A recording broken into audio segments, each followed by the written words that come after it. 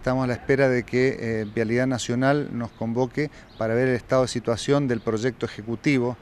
Creo que lo que vos bien planteás, eh, hay que tener ya sin ninguna duda esta mirada eh, regional de lo que significa el área, el gran resistencia, el gran corriente, generando un conglomerado humano de más de un millón de habitantes, superior al millón de habitantes, por un lado, desde el punto de vista de la masividad, pero por otro lado, lo que significa el cruce comercial como arteria del Mercosur. Por lo tanto, es una obra clave, fundamental, necesaria, que eh, estamos a la espera de que eh, desde Vialidad Nacional nos puedan convocar y se puedan generar la